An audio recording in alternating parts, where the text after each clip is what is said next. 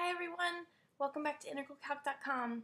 Today we're going to be talking about how to find the scalar equation of a line.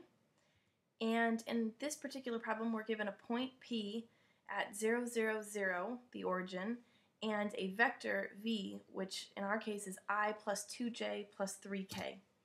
So the simplest kind of scalar equation of a line problem you could be given. These problems are really easy as long as you have the right information. We're going to be using these three formulas to find um, x, y, and z, this, the scalar equations of the line. And um, what our formulas tell us is that uh, the point here, um, 0, 0, 0, represents our three coordinates x sub 0, y sub 0, and z sub 0. So we're just going to be plugging in 0 for each of those there.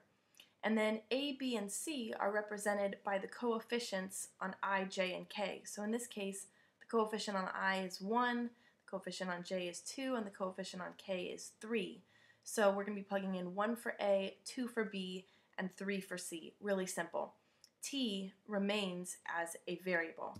So when we do that, we're going to get these three equations. Um, for x, again, we're plugging in the uh, coordinate here for x, 0, so that goes in for x sub 0. 1 gets plugged in, um, 1, the coefficient on i, gets plugged in for a, so x is equal to 0 plus 1t.